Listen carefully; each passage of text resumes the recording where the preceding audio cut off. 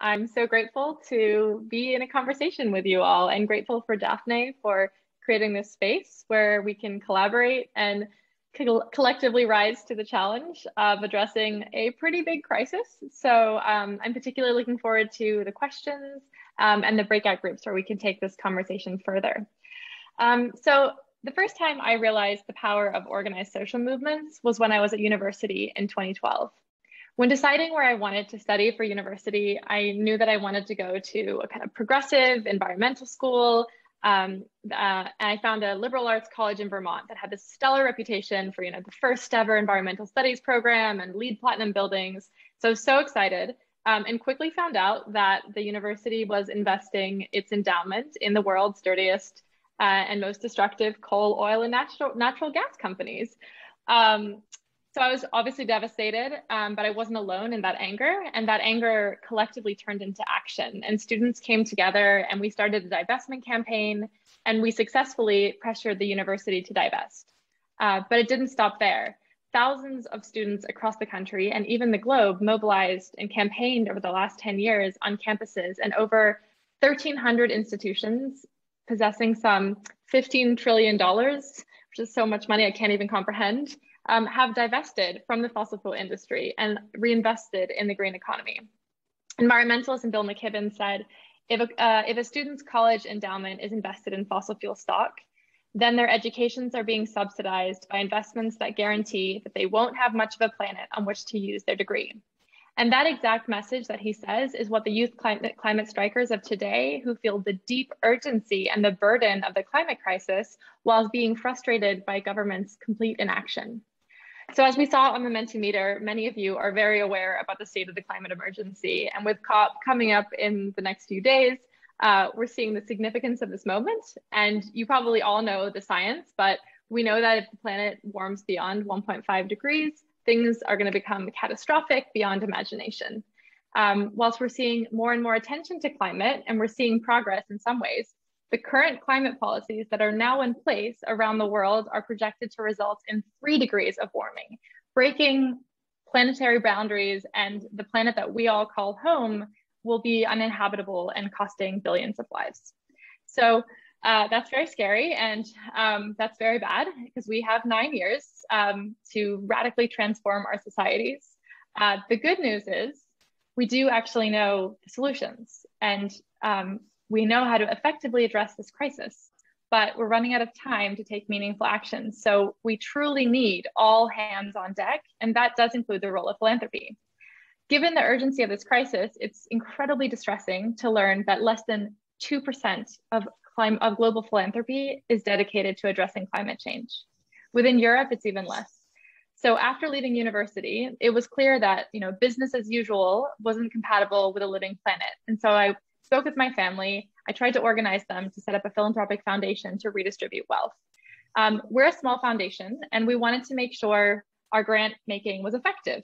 Um, and we had many discussions and we considered multiple different approaches and issue areas that we were passionate about. We were passionate about gender justice and animal welfare and human rights. But we realized that climate change is the greatest threat to gender justice, animal welfare, and human rights in the 21st century. It is this overarching monster and it touches everything it touches, it exacerbates everything we care passionately about. So, as a small funder, we weren't really sure how we could ever make a dent in this giant monster. Um, but we also knew we don't have time to wait and we just needed to start somewhere. So we looked at where climate philanthropy is going. And of that 2% of climate philanthropy, almost none of it is going to climate justice and social movements. And what do I mean by climate justice? Because I know this is a word that's getting thrown ar around a lot, um, but it's important for philanthropy to really understand what climate justice is. It's a concept of understanding how the causes and effects of climate change relate to concepts of justice, such as equality, historical responsibility, and reparative justice. It highlights the adverse impacts of climate change on poor people and countries in the global south. For example, wealthier countries have a greater responsibility for tackling climate change as they've been the primary beneficiaries of carbon emissions for the last two centuries. So through this climate justice lens, at our foundation, we understood and now believe that the current social, economic, and ecological crises of our time call for an unwavering commitment to grassroots social movements to advance these transformative solutions, and that this is where philanthropy has a crucial, crucial role to play. We believe that building power from below is the best hope to tackle the climate crisis. Um, at Solberga, we support activists and social movements that are essential to transforming the landscape of power and political will. Individual actions are great, corporate actions, but they're just not enough to stop the climate crisis. We need bold climate legislation, regulation, and investment from the government. And how do we get that? Well, it's political will that will determine how fast we move. We need mobilizations and advocacy and sustained public engagement, and we need everybody. We especially need those who are most affected by the climate crisis. And yet, because of systemic discrimination, they are the ones that are often overlooked by the philanthropic community. These are young people, Indigenous people, people of color, and women. They're severely underfunded, and they have these shoestring budgets, and they're having an outsized impact with it. It's these activists who are fundamentally changing the debate and holding leaders accountable for their action, or rather inaction. So philanthropy can play a critical role here in empowering and resourcing these activists and grassroots leadership. In the case of the climate crisis, it's these frontline communities that are most intimately familiar with the crisis. And they're the ones that describe it in the clearest terms and point to the, in the direction of the solutions, like the environmental defenders who are protecting land in Brazil, or the two indigenous Torres Strait community leaders who are currently taking the Australian government to federal court. And it's the youth climate strikers who at this very moment, while we're all here, are currently occupying the Science Museum in London for its sponsorship from big polluters like Shell and BP.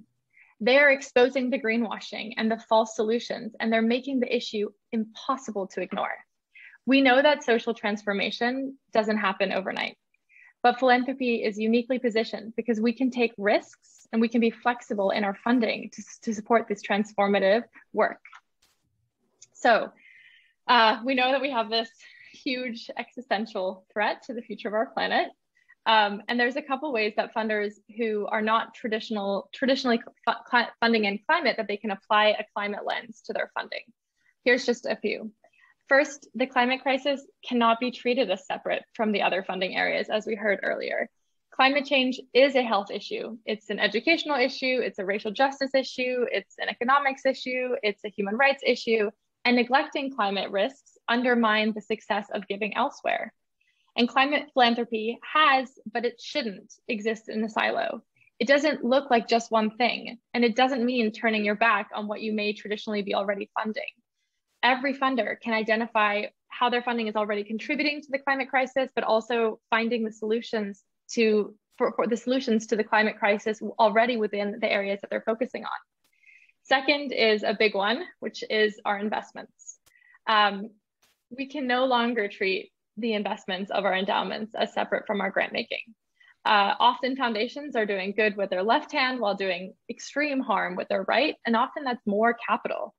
Foundations need to invest in a way that builds local, regenerative, and democratic economies while ensuring that our investments are providing more value than they are extracting. Our investments just have to align with a just transition to a sustainable and low carbon economy. And third, um, you should join the Philanthropy for Climate commitment that was mentioned earlier and will be shared in the chat as a signatory. It's a global movement of foundations committed to taking urgent action on climate change, regardless of their mission, size, or geography. Um, we're coming together um, all over the globe and signaling our commitment to climate action. And so far, there's been 350 foundations or more. It's like always ticking upwards, which is a great sign, um, who have joined already. So um, like look into it and see if your foundation or your can join it. Um, the, the growing climate emergency presents a serious risk to philanthropic aims everywhere, whatever you're funding, but it also presents an opportunity. When we address the root causes of climate change, we're addressing so many other areas of in, injustice and inequality too. Um, I'm obviously not an expert on climate change, and I don't think that you have to be an expert to start funding in climate or using a climate lens on what you already feel you're an expert in. I'm really grateful that we're here today because there's so much that we need to do to break down the silos in philanthropy so we can think collectively and creatively about how we can be more ambitious in philanthropy and to tackle this crisis. So thank you for joining and I'm looking forward to discussing that with all of you.